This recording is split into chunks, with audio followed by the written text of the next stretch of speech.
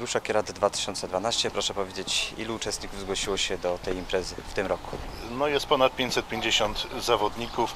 Jeszcze parę osób ma dojechać i zgłosić się na starcie. Dostali przyzwolenie na taki, na taki manewr.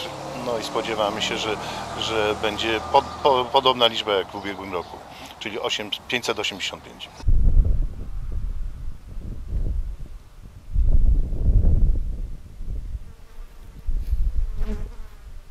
Dlaczego ta impreza cieszy się takim dużym zainteresowaniem?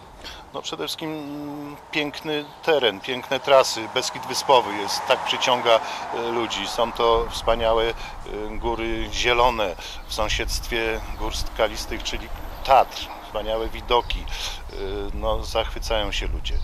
No i jak oceniają zawodnicy, dobra, przyjazna atmosfera na trasie i na całych zawodach.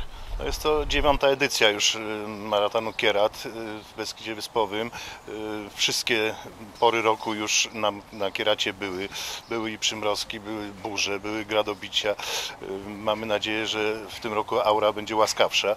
Niemniej jednak upał dla zawodników jest najgorszym, y, co, co może ich spotkać na, na trasie. Większość zawodników też uważa, że trasa jest piękna i, i łatwa, niemniej jednak dla dużej części zawodników jest to trasa bardzo trudna, chociażby dlatego, że jest to non-stop 100 km w dzień i w nocy. Dlatego, dlatego raczej można powiedzieć, że jest, jest to trudne, trudne są to zawody i dlatego w nazwie jest ekstremalny maraton.